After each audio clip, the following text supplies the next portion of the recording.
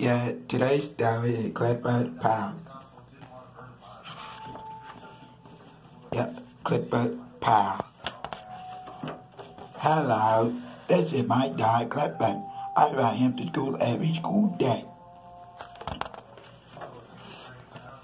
Clifford usually wait for me in the schoolyard. One day he got tired of hanging around. So he went off to play, play with his pals.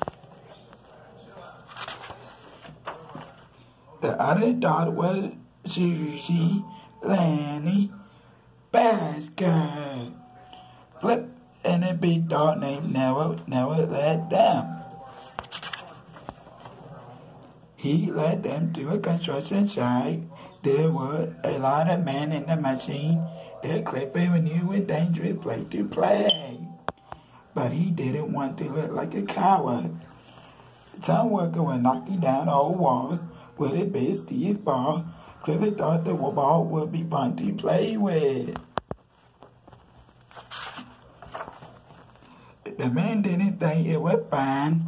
Clifford and his pal ran off fast. Just as Flip was running under the golf boat, a can of red paint fell. The painter yelled, Red!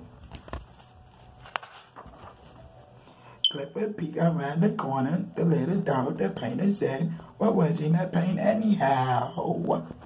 Susie, Lenny, and Nell jump out into the big pit. The workers didn't see the dogs.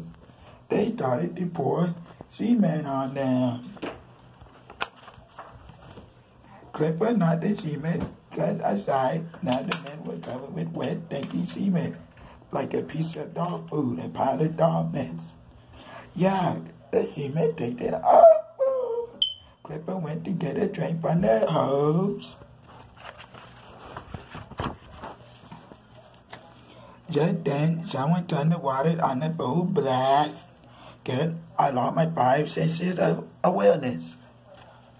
Oh, uh, uh.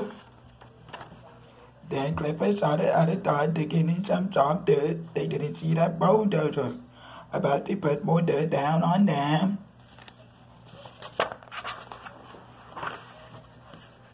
Clifford jumped to stop the bulldozer. He stopped it. Man, I would have go ran over. But I don't care. Clifford Pop found some great big pipe to play in. Clifford tried to follow them, but it was too big. The pipe was stuck on Clifford's now, and he couldn't see. Oops. The pipe came off. The worker was angry that the dog was causing a lot of trouble for them.